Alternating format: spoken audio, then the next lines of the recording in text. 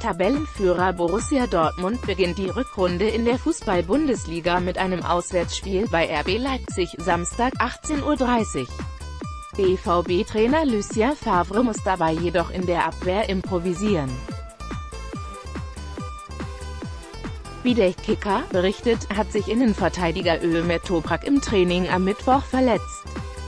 Der 29-Jährige soll sich eine Muskelverletzung zugezogen haben.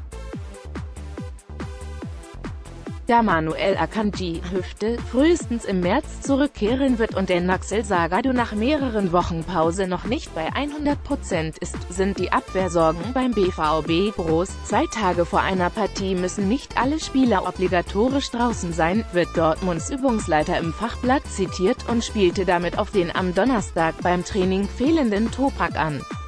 Sein Einsatz am Samstag bleibt fraglich. Somit muss Favre gegen RB Leipzig auf Abdou Jallo und Julian Weigel in der Abwehrzentrale setzen.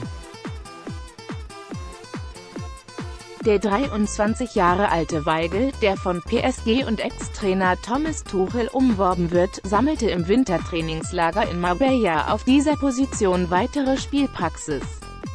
Jallo, in Spanien nach überstandener Verletzung nicht mit vollem Trainingsumfang, sei laut Favre voll einsatzfähig.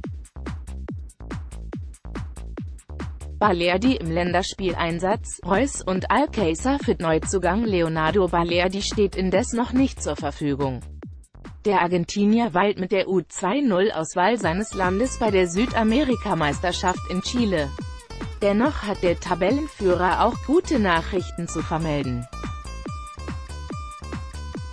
So werden BVB-Kapitän Marco Reus und Stürmer Paco Alcázar beim Tabellenvierten wieder zum Aufgebot gehören.